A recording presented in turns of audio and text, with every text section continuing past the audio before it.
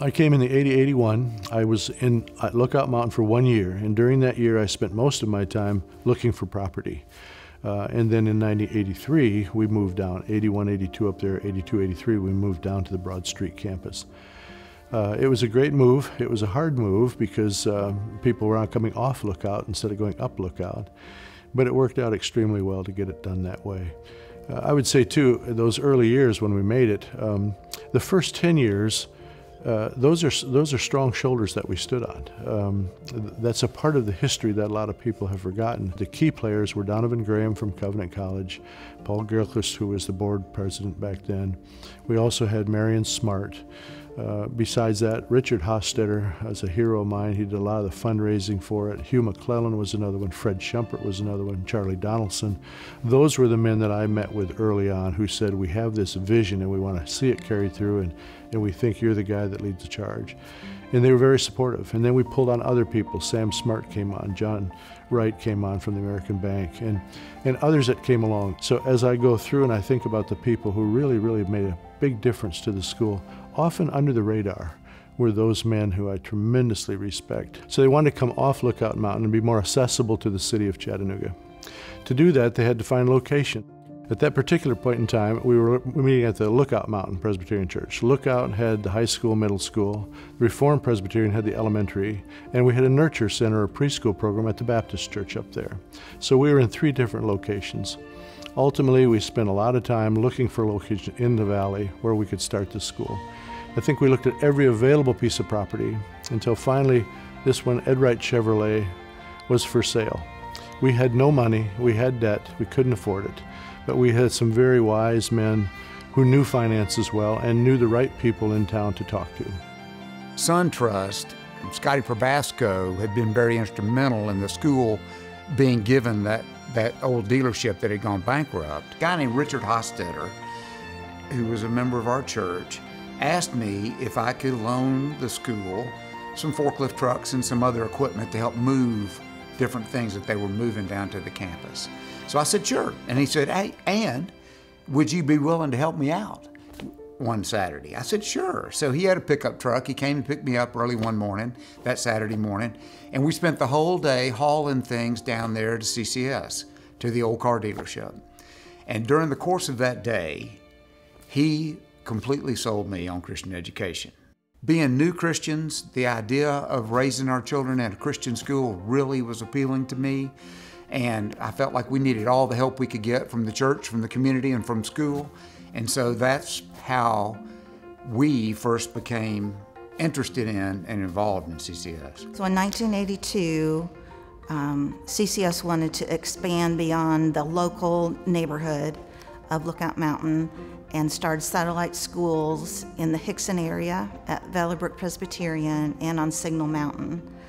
And um, I taught out at the Hixson branch for five years, and Ellie Hedendorf was the lead teacher out there. Um, Will Davis at that time was principal of the Lookout Mountain branch, and so he kind of had oversight over all three elementary schools. My name is Eddie Salter. Uh, I was hired uh, in 1986 by Ellie Hedendorf and Will Davis.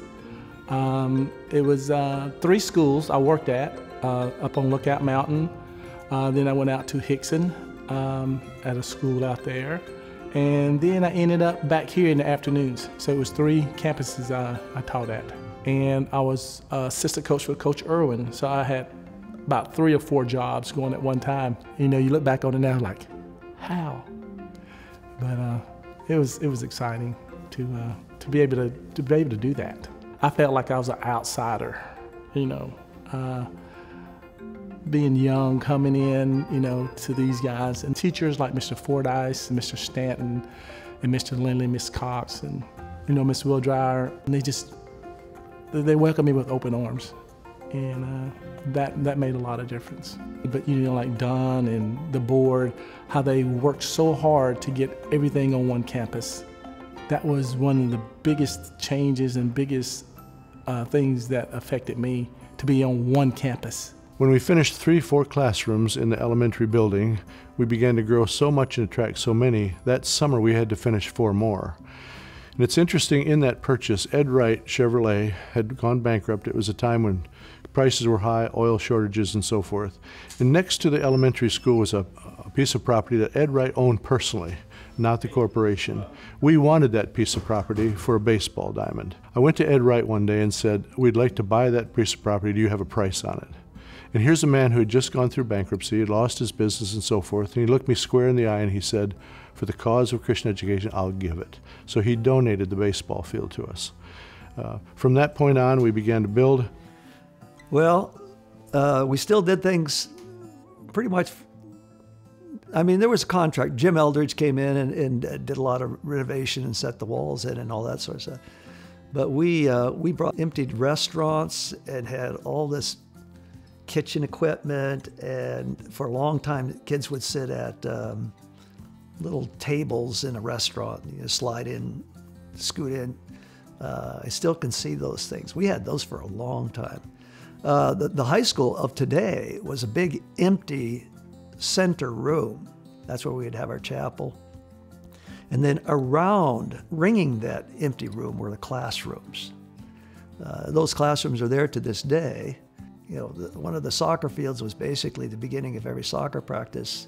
Is okay, guys, 20 minutes, and that meant pick up rocks. And so we walk around and pick up rocks, and guys would get their four wheel and we'd pull curbing out of the field, and that field would be the area from what today is kind of even with the tennis courts all the way north to the street. We needed a gym. We said we can put a gym in the back of the elementary school, but it's not tall enough according to regulations, it had to be 20 feet eave height. We said, well, it's not. And finally, Jim Eldridge was the one who said, well, let's measure it. So Richard Hostetter held the ladder. Jim climbed it. It was 21 feet 6 inches. He said, why in the world would the Lord give us an extra foot and a half? So we looked at it and said, well, with the insulation and the roof that goes on it and the beams that come down, you're right at the limit, 20 feet. So everything worked out that way, just the way it had to work. It was miracles all the way around. Subsequently, of course, we bought the high school property, and that's a story in itself because it was a big auto ship dealer as well.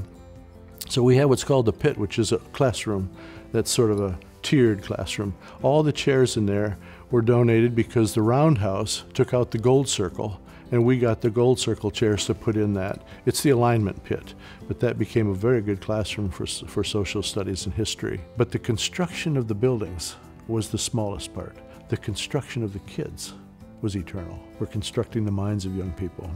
That's what the construction is all about.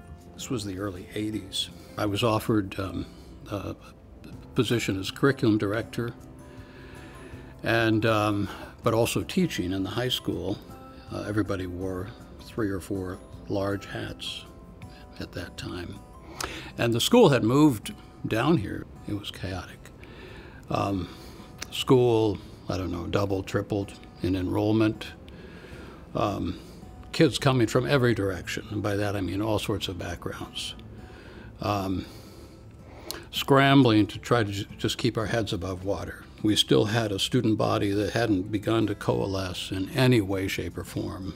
Uh, that's institutionally, that's very, very difficult in all sorts of subtle ways that uh, you know ways that are hard to measure, but you you certainly feel it. And uh, that was that was really a, a, a major major challenge. You can't just make a school overnight, and that's kind of what we did, tried to do, by moving down here. Well, I think you know when we when we started out and came down to Chattanooga, there were three things. One, you know, you had the people who who really had some perceptions of the school, white flight, it's not going to make it. Lower academic, it's where the discipline cases go. If they can't get somewhere else, they come here. That was the perception that we had. Then, after a while, we were validated because we list the students who made national honor, national merit scholars, and so on and so forth. Then began to be validated. Then there was full accreditation that came in 88. And then, of course, the sports program is probably the most visible program. Uh, early on, and all of a sudden you're starting to win ball games, whether it be soccer or tennis. We run several state championships. Well, all of a sudden you're validated then on that arena. So they're winning awards in the arts and in athletics and in academics. So I think it was at that point that people began to say, there's really something over there that we've underestimated. By the mid 90s, um, we had really begun, the situation had really begun to stabilize. Uh, one, we had a core group of faculty have been together in here for, you know, 10 to 15 years. Um, we had students uh, who had come out of the elementary school and into the middle school and the high school, so we weren't just picking up kids for their last couple of years of high school. Uh, on the leadership level, um, Mark Davis uh, had really begun to come into his own as an administrator. He began to articulate um, we need to be organized here. You know, we need to be mentoring new teachers and so forth. So Joanne Irwin and I were sort of the uh, the lead teachers. She in the math and sciences, me in the humanities. So there were the, there was the beginning of a, of a sense of organization that had not existed previously, and that really helped. That carried into the um, the early 2000s. There was just a sense of, of stability and the kids read that too. Um, they understood that, they sensed it. I think within the school community, we had a pride and knew that we were doing a good job. The Lord was with us and helping us. think in those early years when we were so small that um, CCS was not known throughout the whole Chattanooga com- community. And if it was, it was maybe kind of discounted as, oh, it's just a small school. And I've seen throughout the years how that perception has really changed. Well, I think, you know, a place to grow was our theme back then. And, you know, the, the logo that came up, it was after Psalm 1, verse 3. A tree planted by streams of water to yield fruit in its season. And when we looked at that logo, we said that that's a picture of the school. We're going to have fruit growing every season. We're planted by the stream, the Word of God. And so everything we do is going to be focused on that way. We're not trying to compete with anyone. We've set our own sail. This is what we do. We take kids from Christian homes, we nurture these kids, we train them to become impact in culture and society for Christ. That's what we do, and we're going to strive for excellence. The school was growing leaps and bounds, but the school did not have a lot of resources. It was it was very hand to mouth. And I know in those early years, um, Hostetter and some of them would, would tell you that they literally had to pass a hat at board meetings to make sure they were going to meet payroll, that kind of thing. It was not quite that hand to mouth by the time we got on that campus, but still, stewardship and frugality were the watchwords. And Don Holwerda was our superintendent, and Don Holwerda was perfect for that. And to put bleachers in the gym, we went to Tullahoma High School took a bunch of kids with us. We worked for one week and took all the bleachers apart, hauled them back to Chattanooga, put them all back together. When I called to buy them, they said, Well, what are you going to bid on for these bleachers? And I said, Well, I'd like to um, bid $1,000 for all of your bleachers. Well, they said, Okay, are you paying us or are we paying you? I said, It can go either way. So they paid us. We had all that wood and all the bleachers that were in the old gym uh, at that time things worked out like that. I would go home at night and I would say to my wife, I did not see the hand of the Lord today. I saw both hands every day. It was just an incredible experience, the greatest faith exercise in faith I've ever been in. And the people who helped make this school, all the parents, we had parent labor days. The kids cleaned their rooms. The teachers did all they could. They'd come back in the summer. There was a lot of ownership, you know. Um, certainly Tim building furniture and David working on the fields. Um, others of us working in less physical and tangible ways. Um, if you needed furniture for your classroom, you built it. You know, you just went out and bought the material and you did it. Um, you didn't expect that someone else was going to do it because there wasn't a someone else. Different people are doing different things, you know just because, uh, one, they were good at it. Um, it needed to be done. They just stepped up and did it. Many people were here. I'm talking about the, the teachers. Were here out of a sense of, of uh, commitment, um, certainly to Christ, commitment to the, the whole idea of Christian education. You know, so everybody was fired up and everybody was helping out. Um, one of the most interesting for me fundraising things that we did in those days was the auction. auction was a lot of work, a lot of work. I mean, the payback on the effort was not worth it, but but we did it every single year. But the funny part about it was that there were two items: an old boat and a stuffed sailfish that perennially were auctioned off. But then you'd have Hostetter and Hugh McClellan and, and a few other guys that would always bid up this boat and this sailfish against each other. And finally, somebody would end up you know, winning the sailfish or winning the boat, and the auction would be a success. But we also did just a lot of plain old fundraising. We just got out there and asked people to help us to give to the school, um, to help us become what God wanted us to be. And the motivation was to keep Christian education affordable for all Christian families that were interested in coming to CCS. We didn't want to turn away any family because they couldn't afford it, if, if at all possible. But we also needed to be able to attract and retain these Christian teachers who were experts in their own discipline, whether it's history or science or math or whatever, and to be able to teach it from a reform perspective. So that was sort of the the tension that we had.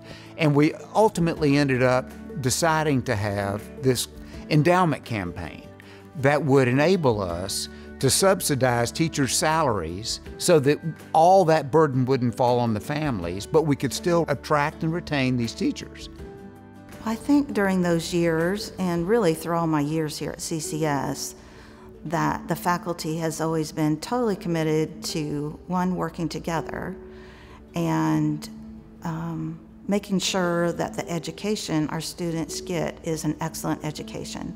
So always striving to learn more, um, get new ideas, look at the latest research and kind of balance that with what we might know as experienced teachers and um, working together and always, I think throughout all those years, what's always been obvious is that this is God's school and that His hand is in it, and that um, really have a commitment to teaching from that biblical perspective. And I would say overall, uh, the school represents a child.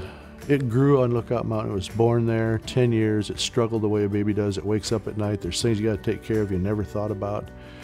And then we got to the era when we moved off. And I would say my tenure here, it was 30 years, but the first few years, uh, the 83 to 88 range, the growth years. I would say that that particular period in time were the adolescent years. If you think of an adolescent, it's gangly, it's got problems here, you got discipline issues. We had the growth pains and we kept growing and building and everything. Well, after we got through adolescence, we got our policies in place, we got straightened out, people bought into the mission. And once that happened, then we moved into young adulthood. And now I see the school and I say we're, we're pretty close to maturity. And uh, now we're looking at the next generation and the next generation. So the school is here to stay. 50 years is a long time. A lot of people didn't give us 20. Uh, but now here we are at 50 and it's going strong and the Lord continues to bless it as I look at what's happening here in the school. Teachers have the same commitment. Students are proud of it. You see it all over the city. And all of a sudden, our school has become one of the leaders in the community. And it's here to stay. And uh, I'm very, very proud of the school.